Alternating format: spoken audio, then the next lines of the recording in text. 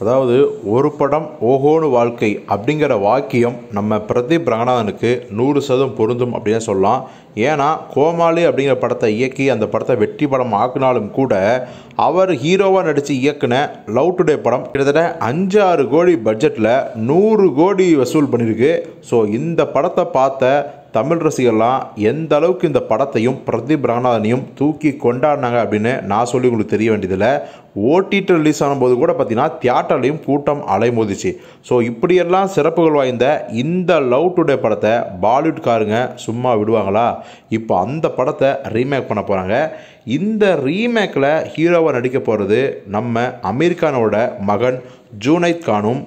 ஹீரோயினாக நடிக்க போகிறது போனி கபூர் ஸ்ரீதேவி தம்பதியரின் இரண்டாவது மகள் அதாவது நம்ம ஜான்வி கபூரோட தங்கச்சி குஷி கபூர் தான் ஹீரோயினாக நடிக்க போகிறாங்க ஸோ அமீர்கானோட பையனும் ஸ்ரீதேவியோட பொண்ணும் இந்த படத்தோட ரீமேக்கில் நடிக்க போகிறாங்க டைட்டில் அதே லவ் டுடே அப்படின்னு வைக்கிறாங்களாம். இதில் என்ன சுவாரஸ்யமான விஷயம் அப்படின்னா இந்த படத்தையும் லவ் டுடே படத்தை இயக்குன தமிழில் இயக்குன அதே நம்ம பிரதீப் ரங்கநாதனே இயக்கி கொடுத்தா நல்லா இருக்கும் அப்படின்னு வேண்டுகோள் வச்சுருக்காங்க.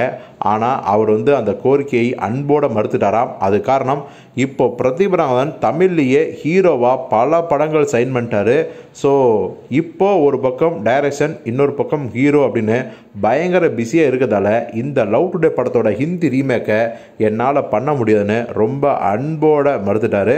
ஸோ இப்போது லவ் டுடே எப்படி தமிழில் மிகப்பெரிய அந்த இளைஞர்களோட பல்ஸை பிடிச்ச ஒரு ஸ்கிரிப்டாக இருந்துச்சோ அந்த மாதிரி ஒரு டைரக்ஷன் இருந்துச்சோ அதே மாதிரி ஒரு டைரக்ஷன் கெப்பாசிட்டி இருக்க ஒரு இயக்குனரை ஹிந்தியில் வந்து கமிட் பண்ணணும் அப்படிங்கிற முடிவு எடுத்திருக்காங்களாம்.